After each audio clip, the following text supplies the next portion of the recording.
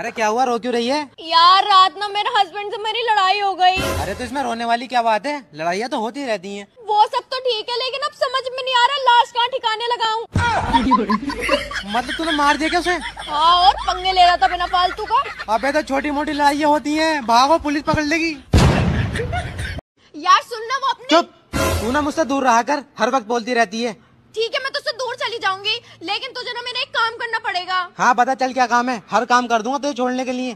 तू ना मुझे दो तीन करोड़ रुपए दे दे उसके बाद तो मैं तुझे खुदरा पूछूँ। अरे यार तू तो मेरी बेस्ट फ्रेंड है तुझसे दूर कैसे रह सकता हूँ मैं? ना ना मस्का लगाने की ज़रूरत ना अल्लाह पैसे दे। यार राशिका तू ना बहुत क्यूट है एकदम चाइनीज़ लगती है। अरे वो मेरे डैडी चाइना के थे ना। अच्छा अब कहाँ है? यार अब तो वो मर गए। हाँ यार चाइनीज़ मालता चलता भी कितना। बहुत सौ दस पंद्रह साल के होंगे। है क्या अब आपके बारे में मैं क्या कहूँ? आप हैं ही इतने हैंडसम कीड़े पड़ेंगे झूठ बोल रही है सर अरे वाकई बड़े हैंडसम हो। अब अच्छा? देखो बने महाराजा हो लेकिन लग रहे हो सिपाही। है ना?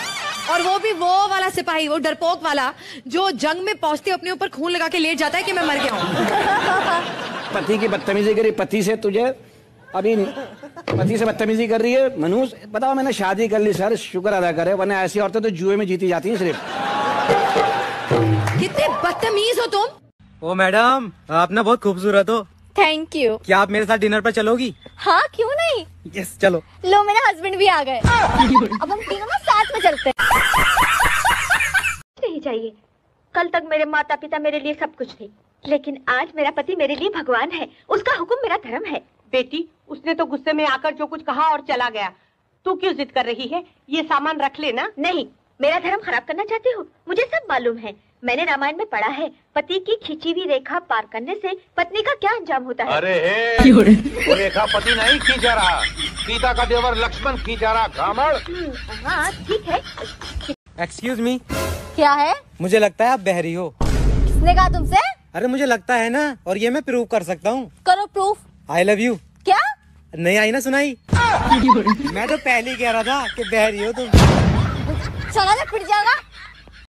मैंने सुना है तूने अपनी बीवी को मार दिया। हाँ क्योंकि वो बेवफा थी। क्यों? वो हमेशा मुझसे कहती रहती थी मुझे शान और शौकत के साथ रहना है। पता नहीं कौन थे वो साले। साली का काम ही खत्म कर दिया मैंने। अबे तू पागल है क्या? क्यों? यार बेबी तुम्हें तो पता है ना मैं तुमसे कितना प्यार करती हूँ। मम्मी पापा हमारी शादी के लिए कभी नहीं मानेंगे इसलिए मुझे ब्रेकअप करना ही होगा। यार सबा तुझे पता है ना मैं तुझसे बहुत प्यार करता हूँ। यार तू एक काम कर ले सर्दी सर्दी रुक जा। सर्दी के बाद मैं खुद ब्रेकअप कर लूँगा तू टेंशन मत लिए ब्रेकअप जा रही हूँ मैं। यार देखो ये मेरी फ़ोटो कैसे आई है? क्या मैं सच में सुंदर नहीं हूँ? नहीं नहीं तू तो बहुत सुंदर है।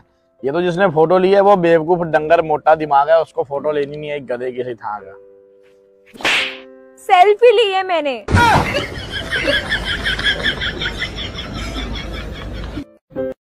ठीक है ये।